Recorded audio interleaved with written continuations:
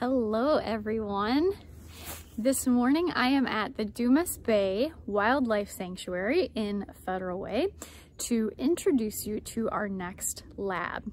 This is a pretty small wildlife sanctuary. It's only about 20 acres and it has this short little trail that's about a quarter mile through the woods to get to a small stretch of Puget Sound waterfront. So I'm gonna take you down there and show you what I've been up to this year.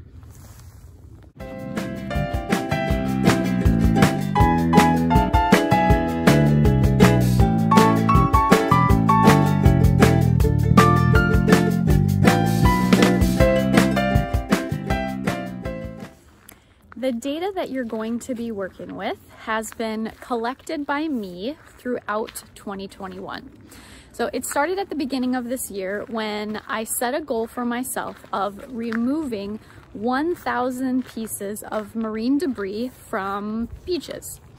And that's a combination of visiting the outer coast, the Pacific Ocean beaches, and usually, unfortunately, on those beaches, it's pretty easy to pick up a couple hundred pieces of debris whenever I visit. So I've done that a few times, but then also this is the closest beach to where I live. So I visited this beach many times throughout the year. And every time I come, I walk the beach, this short little stretch of beach, and I look for pieces of debris to clean up. And when I come, I find between zero and I think the max is about 20 pieces of debris, but it changes all the time. And so that got me to wondering what accounts for those changes. Could it be that there's a certain day of the week that I find more pieces of debris? Or does it change based on the month of the year? Or does it change based on the number of days since I last visited and cleaned up this beach? Um, or maybe it even depends on tidal height. So whether the tide was high or low since I last, uh, before my visit that day. Okay, so to summarize, the data set that I initially started collecting, really by accident, was kind of my observation. My observation was that the number of pieces that I find on each visit changes. And my question was, why does it change? And then I've come up with a few hypotheses as to what might account for the differences. So what you are going to do is look at the data set and see if you can answer those questions. I have just arrived at the end of the path, so let me show you around this beach. What a beautiful October morning.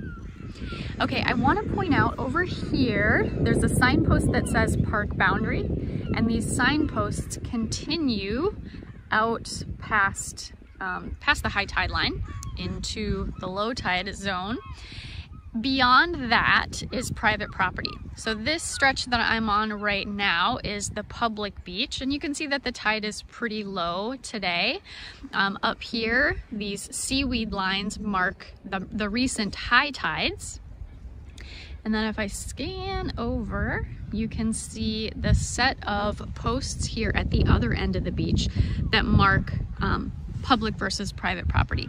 So this stretch of beach that the public has access to is pretty small, but this is where I've been coming to collect the data. When I sample, I'm always walking along the high tide lines and you can see this is actually a time of year in late summer and early fall when there's quite a lot of washed up seaweed on the beach. In another month or two, this will be almost completely clear and it'll just be all sand and rocks. Um, but I always watch the, walk the same length of beach from one end to the other, so the, the entire stretch of public property. Um, I always come in the morning because that's when I like to go for walks.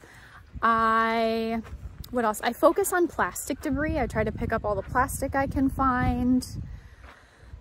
Um, I think that's it.